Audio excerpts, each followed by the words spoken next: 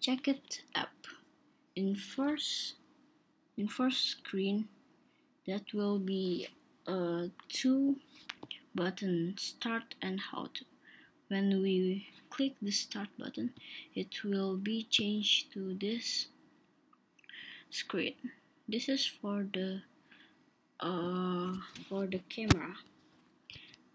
Uh, we have to screenshot this screen first. After that we uh, touch the the camera. And then after that uh, we touch the camera it will be changed to this screen. This is for the status. Uh, if this is ready or not.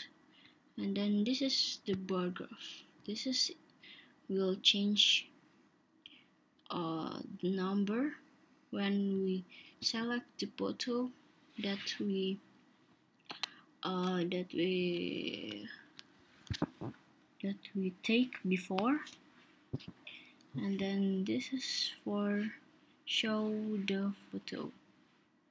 If uh, the photo has droplet this is will uh, will move higher than this.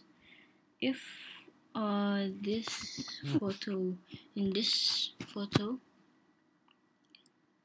the photo is uh, not uh, is no no uh, droplet this is will move higher than this.